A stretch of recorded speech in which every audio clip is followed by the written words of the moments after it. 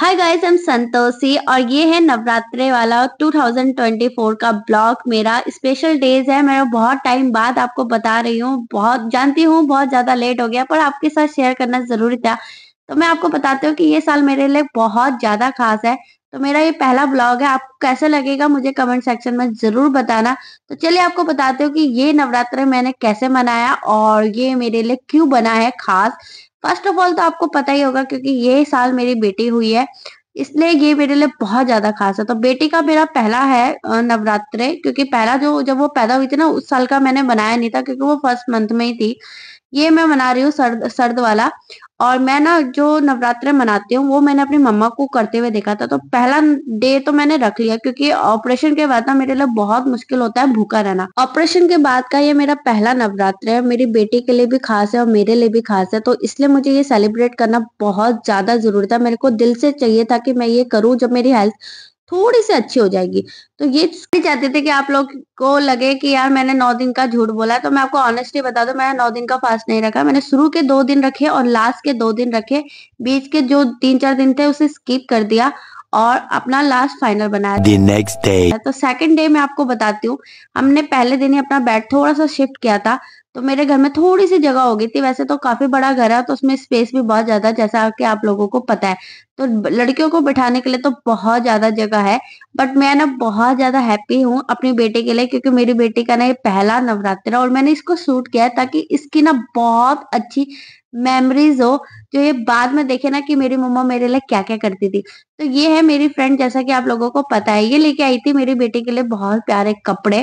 Video बहुत late आई है, मुझे भी पता है, पर प्लीज़ आप मुझे बताना कि आपका नवरात्र कैसा रहा कमेंट सेक्शन में ज़रूर बताना।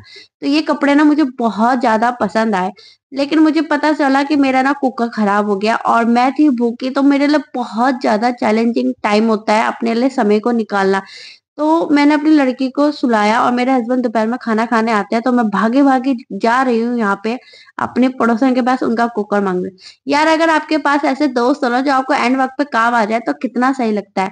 तो उनका कुकर का जो सामान था, मैंने इनके कुकर में पलटा और अपने पति को बहुत बेहतरीन दाल चावल बना के खिलाए। तो गुनगुन को मेरे हस्बैंड ही खिलाते हैं, मेरे हाथ से वो खाती नहीं है। तो शाम को मैं हुई हूँ तैयार और ये मुझसे मिलने आए हुए हैं। ये जो भी है मेरे अच्छे फ्रेंड्स हैं, जो मेरा बहुत अच्छा ख्याल रखता है। मैं अनजान शहर में नए लोगों के साथ मिली हूँ और ये लोग मेरा ध्यान रखते हैं तो मुझे बहुत अच्छा लगता है। ये दोनों भाई बहन है और मेरी गुनगुन के साथ के लिए ना बहुत अच्छे पार्टनर भी हो गए तो अभी हम जा रहे हैं बाहर। हमारे घर के बाहर बन रही है रोड और ये रोड ना ये अंकल बना रहे हैं और इनकी मेहरबानी की वजह से बन रहा है क्योंकि यहाँ पे भी आपको पता है इलेक्शन की वजह से कितने काम पेंडिंग रह जाते हैं। तो मेरी गुनगुन आ गई है मेरे पड़ोसन के पास और ये है इनकी नई दोस्त जो अब मेरी भी दोस्त बन गई है, बहुत अच्छी हमारी बॉन्डिंग बन गई है। मुझे इनसे बात करके बेहद अच्छा लगा। तो शाम की आरती कर रही हूँ मैं।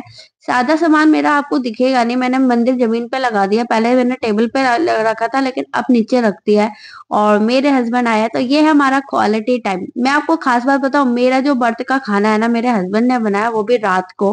तो दोपहर का खाना तो मैं बना लेती हूँ। पर रात का खाना ना उन्होंने ही बनाया। यार इतना भूखे रहने के बाद ना मेरी बिल्कुल भी हिम्मत नहीं हो रही थी खाना बनाने की तो उन्होंने कहा मैं बनाता हूँ। तो ये है फाइनल डे जिस दिन हम लड़कियाँ जिमाते हैं तो उस दिन ना मेरी आँख देखिए कैसे हो गई थी। पता नहीं ये ना अजीब सा इन्फेक्शन जैसा हो गया एक आइज़ में और दूसरी आइज़ में हल्का सा पेन था और मेरा मूड ज़्यादा खराब हो गया। यार मुझे ना अच्छे से तैयार होना था बट आगे देखते हैं कि कितना तैयार हो पाई हो। तो यहाँ पे कर रहे ये दोनों मस्तियाँ। मैं जब तक सो के उठी मेरे हस्बैंड ने ना ये चने वगैरह उबाल के रख दिए थे इसकी आधे से ज़्यादा तैयारी ना उन्होंने कर दी थी। तो सीरियसली मैं बहुत ज़्यादा हैप्पी थी कि यार, आज तो मुझे इतनी ज़्यादा हेल्प मिल गई ना, वरना मुझे अकेले ही तैयार होना पड़ता और तैयारियाँ करनी पड़ती। तो फ़िलहाल मैंने ये साड़ी पहनी है। पिछली बार तो मुझे इतना तैयार होने का भी टाइम नहीं मिला था, क्योंकि आज मेरे हस्बैंड ने काम कर दिया ना तो मेरे को बहुत समय मिल गया नहा धो के चीज़ों को तैयार करने में। और लेकिन मेरी बेटी हो गई ना तो मेरे पास फुर्सत नहीं है।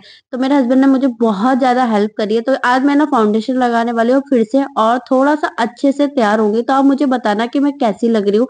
अगर मैं अच्छी लग रही हूँ तो मैं इसको ना आगे कंटिन्यू करूँगी। और अगर मैं बेकार लग रही हूँ ना तो मैं ये चीज़ें ना स्किप कर दूँगी, क्योंकि इससे पहले ना मैं फाउंडेशन वगैरह लगाती थी जब मैं जॉब पे जाती थी। फ़िलहाल तो मैं जब से हाउस वाइफ बनी हूँ तो मैंने ये चीज़ें स्किप ही कर दिया अभी फिर से स्टार्ट करने लगी हूँ, क्योंकि मैंने अब ब्लॉग शूट किया है तो मैं चाहती हूँ कि मैं थोड़ा सा अच्छा दिखूँ तो इसलिए मैंने ये दोबारा कंटिन्यू किया है। तो आप मुझे कमेंट सेक्शन में बताना कि मैं फ़िलहाल कैसी लग रही हूँ।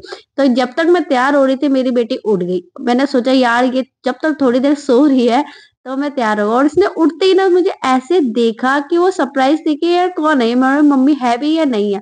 बट उसने मुझे ध्यान से देख के मुस्कुराया ना तो मुझे अच्छा लगा। मेरी आईज देखिए, यहाँ पे कितनी ज़्यादा रब हो रही है यार। पता नहीं क्या हो गया, मुझे कुछ समझ में नहीं आया। तो फ़िलहाल मुझे यहाँ बताओ मैं कि मैं इस मोटापे पे भी मैं कैसी लग रही हूँ? जो थोड़ी बहुत तैयारी बची थी वो मैंने खुद कर लिया अब तो गुनगुन उठ गई है तो मैं मुझे इसके साथ ही मैनेज करना पड़ेगा, लेकिन यहाँ देखो, मुझे अब ध्यान आया कि मैंने बिंदी ही नहीं लगाई। तो ये है सामने वाली की लड़की जिन्होंने कपड़े दिए थे, उनकी बेटी है। इसने आके भाई को और भगवान की कृपा से इसने मुझे इतना सपोर्ट किया ना क्योंकि मेरी बेटी ना बहुत ज़्यादा रो रही थी। यहाँ मैं आई हूँ लड़कियों को लेने के लिए तो इनके पेरेंट्स से बात करके मैं उनको अपने घर बुला के लाई। और मेरे पास ना हमेशा लड़कियाँ ज़्यादा हो जाती है। मेरी किस्मत बहुत अच्छी है कि मैं हमेशा बच्चे ना ज़्यादा ही जिमा पाते हूँ। आज ही के दिन ना हमारे घर के बाहर रोड बन रही है तो बच्चों को लाने में मुझे बहुत ज़्यादा प्रॉब्लम हुई है। तो मैंने जैसे तैसे ना उनको अपने घर का पता बताया और ये इनको लेके आई हूँ। कुछ बच्चे तो रेगुलर आ रहे हैं, तीन साल से मेरे पास, लेकिन कुछ बच्चे नहीं आ रहे। मेरे लिए सबसे ज़्यादा सरप्राइज़ था कि इन बच्चों का मुझे कॉम्प्लीमेंट देना कि, दीदी, आप बहुत ज़्यादा अच्छे दिख रहे हो वो भी साड़ी में। मेरे हस्बैंड ने भी मुझे सुबह से कॉम्प्लीमेंट नहीं दिया और लेकिन मुझे बहुत अच्छा लगा कि इन बच्चों ने मुझे कॉम्प्लीमेंट दिया। सीरियसली मुझे लगा था बेबी होने के बाद मैं बिल्कुल भी अच्छी नहीं दिख रही हूँ, खासकर बॉडी से। चेहरा मेरा अभी भी अच्छा दिख रहा है। हाँ हाँ। तो मैं आपको आगे की एक बात बताती हूँ। मैंने ना पूरियाँ जितनी बनाई थी ना, वो ना कम पड़ गई। तो मुझे दोबारा बनाना पड़ा बच्चों के लिए, क्योंकि कुछ बच्चे ना एक्स्ट्रा हो गए थे। मतलब मैंने पंद्रह से सोलह बच्चे शायद जिमाए हैं। तीन लड़के, बाकी सारी लड़कियाँ थी। तो मेरे पास ना बच्चे हर साल ज़्यादा हो जाते हैं, पर मुझे ना बच्चे ज़्यादा खाते नहीं तो इसलिए मैं ज़्यादा खाना बनाती नहीं। लेकिन मुझे अभी पता चला कि यार मेरे को खाना दोबारा बनाना पड़ेगा तो फिर मेरे को ये प्रोसेस दोबारा रिपीट करना पड़ा। तो ये देखिए, ये है मेरा घर और आगे और पीछे ना ये रोड इतनी बन चुकी है, बाकी की काम चल रहा है।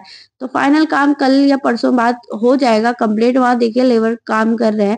तो ये है सामने वाला घर और ये है बगल वाला घर। तो आप यहाँ पे देख सकते हो कि यहाँ पे कितने सारा काम बचा हुआ है तो यहाँ पे ये है मेरा घर जो आपको एंट्रेंस दिखाई दे रहा होगा। तो ये बच्चे इतने ज़्यादा खुश थे ना मेरे घर आके, क्योंकि मेरे बच्चे ना बहुत ज़्यादा खुश रहते हैं। तो मुझे ना इस बात की बहुत खुशी होती है। आप में से भी मुझे बताना कमेंट सेक्शन में कि किसके घर आके ना बच्चे ज़्यादा खुश रहते हैं। तो मैं तो उनको ज़्यादा कुछ देती नहीं, लेकिन इनको ना मेरे घर आके ना अच्छा लगता है और मेरे हाथ की ना सब्ज़ी बहुत पसंद आती है और सब्ज़ी की रेसिपी ना मेरी मम्मी ने मुझे बताई थी। तो यहाँ पे सब बच्चे कर रहे हैं, आपको बाय और मैं दिखाती हूँ कि मैं अपनी फ्रेंड के यहाँ जा रही हूँ, जो मेरी पड़ोसन भी है, सबसे बेस्ट और मैं उनके साथ ही क्वालिटी टाइम आपको स्पेंड करती हूँ। तो आपको समझ में आ गया होगा कि मैं किसके घर जा रही हूँ।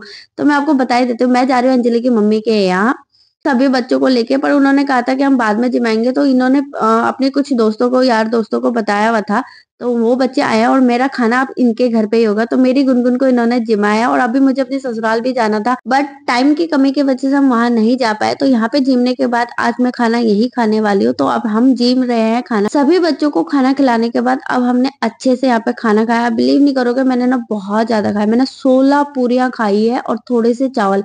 इतना ठूसने के बाद मेरे ना अंतरात्मा को शांति मिली। नौ दिन से जो भूखी थी मतलब थोड़ा ज़्यादा भूखी थी। तो यहाँ पे मैं अपने बेटे के साथ एक अच्छे से रील शूट करने की कोशिश कर रही हूँ, पर जिसके हाथ में कैमरा है ना, उसने बिल्कुल भी अच्छे से शूट नहीं किया। मेरा पेट कितना गंदा दिख रहा है, उसने मुझे बताया नहीं और मेरी क्वालिटी बहुत बेकार लग रही है, उसने मुझे बताया नहीं। तो मैं जैसी भी जिस हालत में थी फाइनली शाम को थक कार के मुझे इतनी गंदी नींद आ रही थी, मैंने सोचा एक छोटी सी रील बनाऊँ बट इसने अच्छे से बनाई नहीं। तो यहाँ पे मैं कैसे लग रही हूँ? प्लीज़ मुझे कमेंट सेक्शन में बताना कि मैं इस तरह के कपड़े दोबारा पहनूं या ना पहनूं। यहाँ पे मैं खुद को देख रही हूँ फाइनली नींद आने से पहले मतलब क्योंकि मैं सोने वाली थी तो मैं अब जा रही हूँ, मैं बहुत बुरी तरह थक गई वैसे तो इतना ज़्यादा फैटी दिख नहीं रही हो, पर फिर भी मैं बहुत बेकार दिख रही हूँ। तो सो के उठी थी तो देखा मेरी आईज इस टाइम कैसी हो रही है। और लिपस्टिक वगैरह सारा मेकअप उतर चुका है, मैं ऐसी सो गई थी। बर्तन काफ़ी ज़्यादा पड़े हैं, आप देख सकते हो, बहुत सारा काम पड़ा है। थकान बहुत ज़्यादा लग रही है तो आज का दिन तो मेरा ऐसा गुजरा। पर मैं बहुत ज़्यादा खुश हूँ कि मैं इतनी अच्छे से तैयार हुई और मैंने अच्छे से सेलिब्रेट किया। तो आपको मिलती हूँ नई वीडियो में, तब तक के लिए बाय